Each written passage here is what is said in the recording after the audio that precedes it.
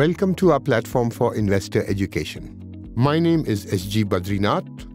I have been teaching and studying financial markets and equity markets for the last 30 years to students who are undergraduates or MBAs in both the United States and in India. Over this period of time, I have worn several hats. I have been an investor almost always, I have been a trader occasionally, I have been a consultant, I have managed money, I have uh, been a scholar who writes papers that unfortunately for me very few people actually get to read. Uh, at the moment, I hold the Canara Bank Chair of Finance at the Indian Institute of Management in Bangalore. I write about financial markets, but from the point of view of the households. For 20 years, I have written in newspapers, magazines, some television shows, podcasts, radio, digital, social media, workshop, the works, to take my message of financial empowerment to the households. Many of these lessons I've managed to plug back into policy and regulation, but the one thing that my takeaway has been is that every household wants their money to do better, but they simply don't know how. And that's what we hope to crack with this series. I am Monika Halan. I am consulting editor with Mint and the author of the best selling book, Let's Talk Money.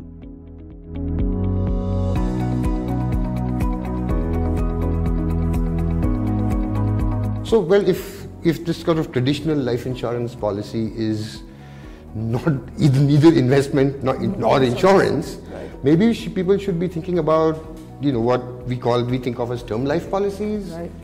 Perhaps where you're just saying, you're buying just pure insurance. You're saying, if I happen to die in the next 10 years, then my dependents, whoever, will get X. Right. So Absolutely. is that something that... That's the only policy, and also who needs to buy? Somebody who has dependents. Right, of You know, suppose you're not married, you don't have a family, you don't have parents who look after, who you depend on your income. You actually don't need insurance. For tax saving, there is a basket of 10 other products, which includes a mutual fund. ELSS schemes Mm-hmm, are part of that basket. Your provident fund, your uh, uh, PF, PPF. You know, there's a whole basket. So don't get. People should not get tricked into buying insurance just because it gives you a tax break. There are 15, 20 other products which do exactly the same. Mm-hmm, So the term policy is the cheapest policy to buy. So a 30 year old buying a crore of cover, it'll cost him 8,000 rupees a year. That's it. And that's It's a fixed premium that. over this period? Does it, is there an premium. inflation So clause unlike, or escalation clause? Unlike a health insurance cover, once you buy into a term premium, Mm-hmm. it gets locked. Okay, so you pay 8,000 a year flat You just pay 8,000 a year. for that for, term. For, for the term that you have bought, Yeah. it's an annual contract, so you must remember to renew the policy. I'm sure they won't let you forget, right?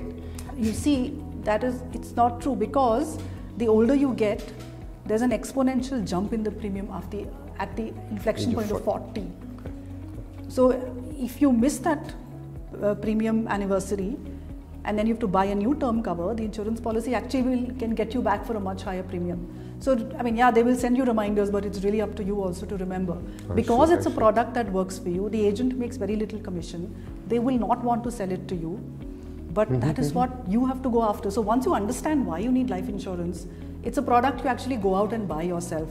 So you can buy it online. It is 40% cheaper because you've cut out the agent commission. So you Mm-hmm, you must buy it if you have dependents. You buy 10 times of your annual income. You buy it online and you invest the difference. So yeah, if you were that's the point. That's that is right. exactly the point. You know, why bundle up insurance and investment into something which is giving you neither? That's right. You buy term, which is pure insurance, and the rest of the money that you would have saved by not buying into a full life whole traditional policy, you invest in whatever financially appropriate Products, investment product yeah, that appeals to your level of risk and all that kind of stuff. Absolutely. And uh, so when you talk to somebody who's in their 40s and you talk of investing mistakes I made, at number one is buying insurance policies for investment. Anybody you speak to, they are sitting on 10, 15 dud products. And when you look at really what you have in your basket, Mm-hmm. it's not doing anything. So buy your term policy if you need it, invest the difference. And of course, as we get along, we'll understand that you have to invest it into markets for long term wealth creation. Mm-hmm. But this habit of buying products which help make money for the agents and the insurance companies has to stop.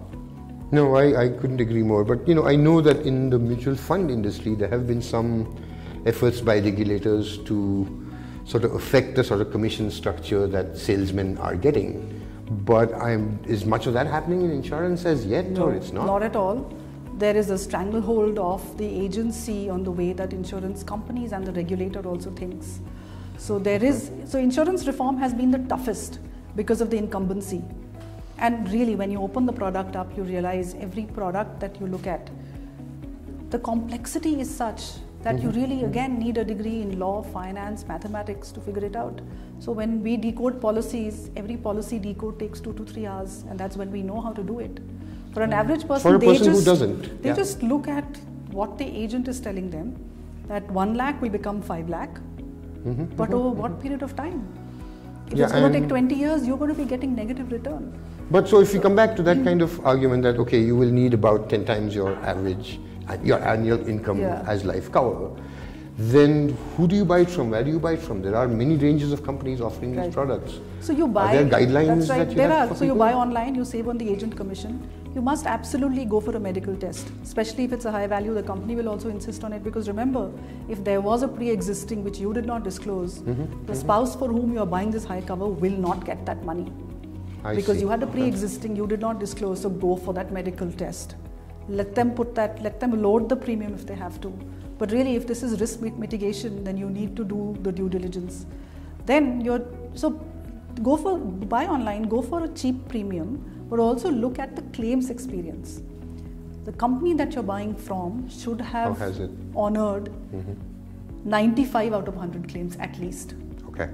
Because those are some of the thumb rules on how to buy this product, which nobody wants to sell you.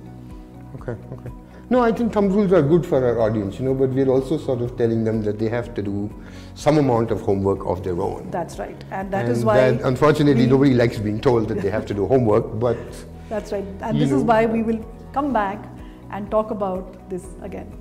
So, as we've talked uh, so far, uh, buying term life insurance policies and investing the difference helps you create a safety net for your family and lets you deploy the rest of your assets for investment purposes towards wealth creation.